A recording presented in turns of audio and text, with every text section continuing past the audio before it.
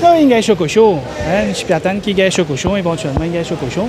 50 000 roupies cash avec 100 000 par bank check. Et bon, il y a des autres conditions aussi qui viennent rapporter tout ça là.